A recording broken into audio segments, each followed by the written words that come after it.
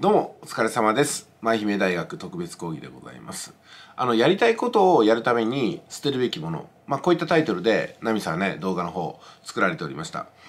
でそこで思い出したのが私の、まあ、知り合いでねそのビジネスをものすごく一生懸命やっている、えー、主婦の方なんですよ。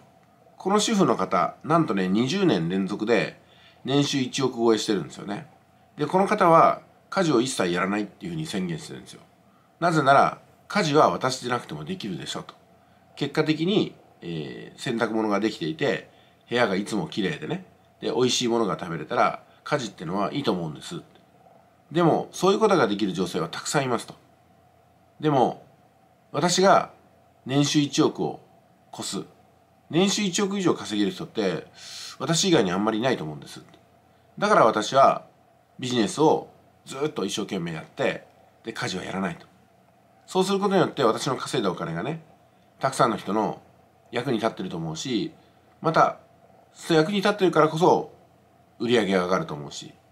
えそして売り上げたお金をしっかりと納税して世の中の人に広く役に立っていただいてで私の稼いだ手元のお金はいろんなことに使うことによって、まあ、いろんなねビジネスがそれによって支えられている部分がある。これは多分主婦が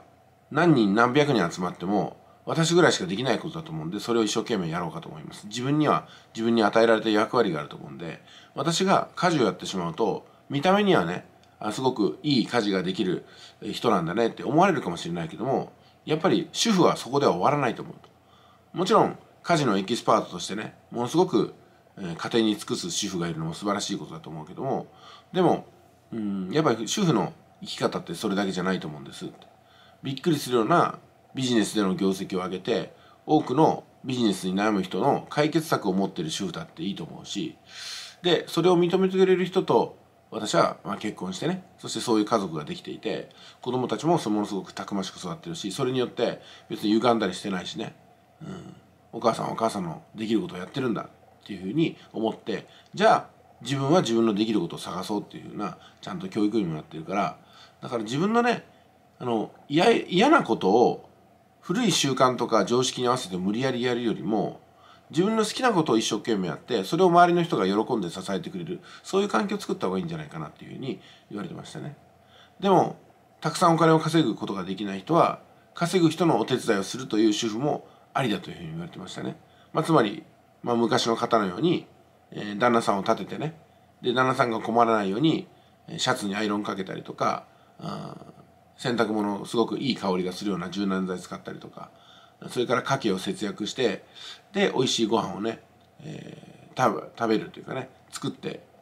えー、家族の帰りを待つこれも温かい家庭の作り方じゃないのっていうふうにやっぱ尊重されてましたね。うんまあ、要するに自分は何者なのか自分はどんなことができるのかどんな役割を持つのかってことをねあのしっかりと発揮できてればいいんじゃないかなってことだったみたいですね。うんまあ、人にはやっぱり私ここから私の考えですけども人にはねやっぱりこう着物と同じように柄ってのがあるのかなと思うんですよ。柄がね。やっぱ柄じゃないことをやるべきじゃないし自分に合ったことをやることによって全体がうまく回っていくんじゃないかなと思います。でも何が自分に合ったものなのか自分に合う柄っていうのは何なのかそれは少しずつやってみないとなかなかわからないことなんでいろんなことに挑戦する。主婦だからこれをやっちゃダメこれをやるべきっていうところに縛られずにまずは主婦だからこそまだ見出してない可能性にいろいろ気づくためにね挑戦していくことも大事なんじゃないかなというところですかね。うん、まあ奈美さんはねそのビジネスをする上で専門家に任せること、うん、それにはもう本当に、えー、最高のパフォーマンスを出すための自分のビジネススタイルっていうのがね、えー、あるんだよってことだったと思いますけども私もそれすごく思いますね。